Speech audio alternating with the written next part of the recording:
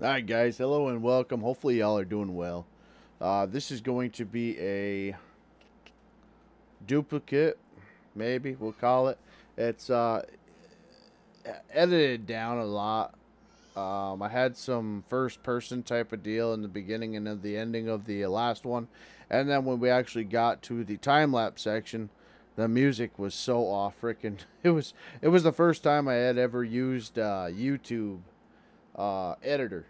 So I apologize for that. Um, it was one of them late night deals, and YouTube said it was going to be hours before the actual music was imported into the edit that I had did, and I had to go to bed, go to work next day, whatever the heck the case was either way, I, I got a little bit of time today and I was browsing through some of the smaller videos that weren't doing very good to try to grow from it and realized how absolutely pathetic it actually turned out to be for the it, it just was not good. So um either way this is strictly a time lapse.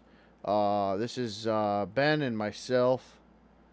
Um, this is the last day that we were actually up at the uh, the Colton track and just pushing the landing out, trying to get the uh, up here where the loader was uh, back down to back down to the rest the the soil, and then from what I remember, if I remember correctly, there was a swampy area where you could see.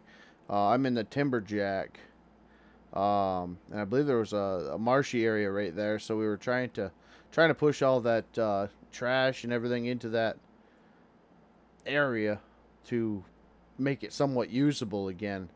Um, what else was I going to say? Um, subscribers, guys and gals that are here for farming sim or any other sim in general. Um, if that is the only thing that y'all are here for, um, you're not going to find it anymore. I don't have time to be with the computer. My kids are growing. Um, and the, the, the time that I have is pretty much used up between doing contracting work on the weekends uh, with a neighbor that's just starting his own little contract deal up, logging whenever I get uh, time and whenever John needs me because right now they're they're on a small track timber like I showed y'all with the uh, telephone job. That's only a 60 acre deal and the skidders are right on top of the loader. So uh, yeah, he doesn't generally need uh, another skidder there. They have a pile of pile of wood sitting. So um as for the people that are brand new to the channel, um, the channel's going to be a bit bit scattered. Uh, you know, I, I, I have my primary job, which I'm going to be able to get some content of that, not a lot, but some. Um, logging, con I don't know about contract. I got a lot of stuff in my house to do, uh, and I don't know how much of that I'm going to put on. Just kind of weird.